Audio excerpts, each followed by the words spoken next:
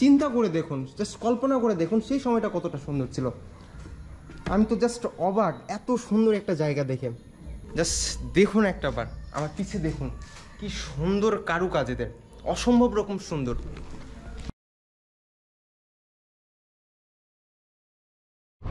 আসসালামু আলাইকুম গাইস আমি Mohammad Sadman Hossain Sakib welcome back to my channel আমরা এখন যাচ্ছি হচ্ছে দুবলহাটি রাজবাড়িতে। তো চলেন, যাওয়া যাক। এখান থেকে নাকি আরও আট কিলো ভিতরের দিকে। আর রাস্তার যে কন্ডিশন মানে কি এক বিচ্ছিরি অবস্থা।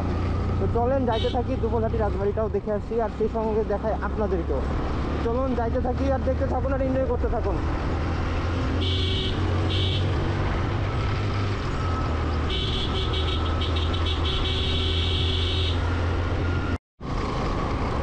আচ্ছা এখন যেই রাস্তাতে যাচ্ছি সেটা হচ্ছে দুবলহাটি রাজবাড়ির রাস্তা।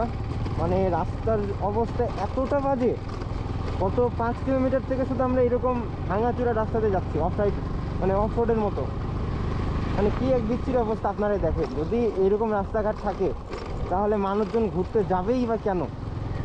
রাস্তার সংস্কার কাজ মানে পুরোটা রাস্তাতে দেখলাম না কোথাও যে পিচ ঢালাই। মানে রাস্তা কেমন নতুন তৈরি করতেছে হয়তো বা তো মানে পিচ ঢালাই দেওয়ার পরেও দেখেন যে রাস্তার এগুলো উঠে গেছে।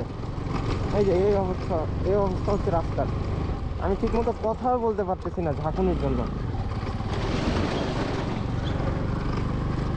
জানি না এভাবে আর কত দূর যাইতে হবে বাট যাচ্ছি শুধু আপনাদেরকে দেখানোর জন্য আর আমি নিজে দেখার জন্য। মশাই কি করে রাস্তার মাঝখানে? এই যে মশাই। চলেন তাহলে যাওয়া যাক, আপনারা দেখতে থাকুন কি করব। এই ভাঙাচুরা রাস্তাতে যাইতে একদম অবস্থা খারাপ। এত দূর রাস্তায় থেকে আসলাম কোনো সমস্যা হলো না।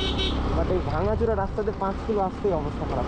তার মধ্যে আমার কাছে ডিসকভার হান্ড্রেড বাইক এই বাইক নিয়ে আমি চোদ্দোটা জেলা ঘুরে দেখতেছি। তো এটাই আমার প্রথম জেলা। এখনও বাকি তেরোটা বাকি আছে।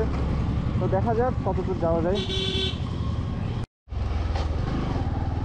আচ্ছা আমরা এই তো জমিদার বাড়ির কাছাকাছি চলে আসছি।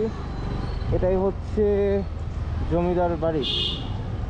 পুরো ধ্বংসস্তূপ, আর কিছুই নাই।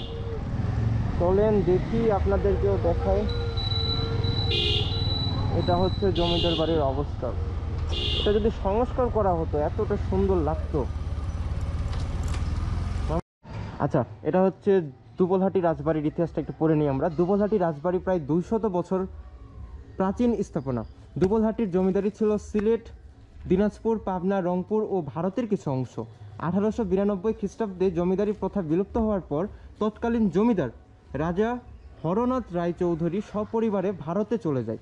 রাজবংশের স্মৃতিস্বরূপ পাঁচ একর এলাকা জুড়ে বিশাল প্রাসাদটি বর্তমানে প্রত্নতত্ত্ব অধিদপ্তরের অধীন রয়েছে। নিচে লেখা আছে হেরিটেজ বাংলাদেশ। আচ্ছা এটাই হচ্ছে সেই রাজবাড়ি পুরোটা দেখব, আপনাদেরকে দেখাবো।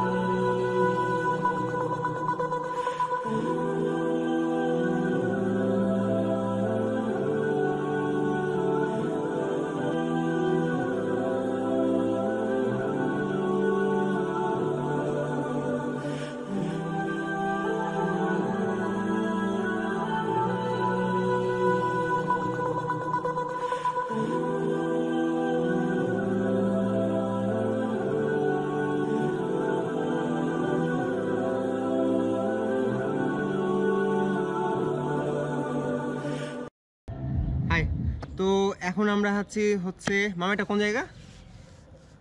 এটা দুবলহাটি? হ্যাঁ এটা হচ্ছে দুবলহাটি রাজবাড়ি। তো রাজবাড়িটা কি বলব আপনি যদি নিজের চোখে না দেখেন আপনার বিশ্বাস হবে না এত সুন্দর একটা জায়গা। আর রাজবাড়ির এরিয়াটা এত বিশাল মানে এটা আমরা এখন ছাদের উপর আছি। আপনারা এই পাশে একটু দেখাচ্ছি জাস্ট মেন গেটের একটু আকর্ষণটা দেখেন। মেন গেট দেখেন। মেন গেটের উপর দুইটা মানুষ এমনভাবে মূর্তি সাজায় রাখছে দেখার মতো। মানে কল্পনা করে দেখুন, সেই সময় যখন জমিদারি প্রথাটা ছিল, সেই সময় তাহলে এর আভিজাত্যটা কেমন ছিল?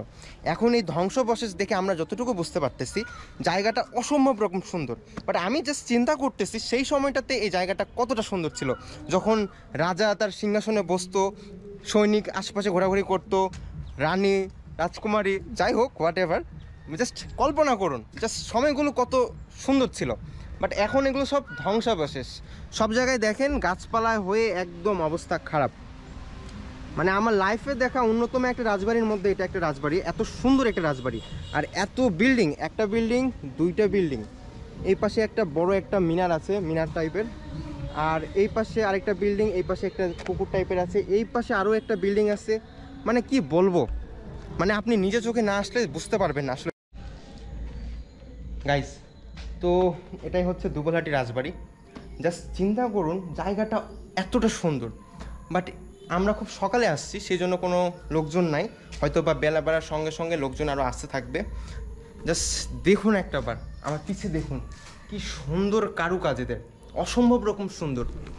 মানে আমি তো আগে না এসে ভুল করছি জাস্ট দেখুন। ছাদের অবস্থা দেখুন এক একটা রডের এক একটা কি বলব? পিলার টাইপের কি এটা জানি না বাট সেই সময় ছাদ এরকম করে দেওয়া হতো। আর এই পাশে দেখেন, এটা হচ্ছে বারেন্দ্রা এখানে এটা হচ্ছে সিঁড়ি। এটা আলাদা একটা কক্ষ ছিল মেবি সেই সময়। আর কারুকাজগুলো যদি আপনি একটু কাছ থেকে দেখাইতে পারতাম বাট আফসোস সেটা সম্ভব না। দেখেন, এতটা সুন্দর জায়গা এটা। জাস্ট চিন্তা করে দেখুন, সেই সময়টাতে যখন আসবাবপত্র ছিল লাইটিং ছিল ফ্যান ছিল হয়তো বা বা লোকজন যাতায়াত করতো, কেউ আসতেছে, কেউ যাচ্ছে, কেউ আবদার করে- করতেছে আড়াত করতেছে, বা রাজার কথা শুনতেছে জাস্ট চিন্তা করে দেখুন জাস্ট কল্পনা করে দেখুন সেই সময়টা কতটা সুন্দর ছিল। আমি তো জাস্ট অবাক, এত সুন্দর একটা জায়গা দেখে মাশাল্লাহ তো আমরা এখন দুবলহাটি রাজবাড়ি ছেড়ে আমরা যাব হচ্ছে পাহাড়পুর, বৌদ্ধবিহার মানে সম্পুর বিহার যেটাকে বলে, তো সেটাতেও যাব।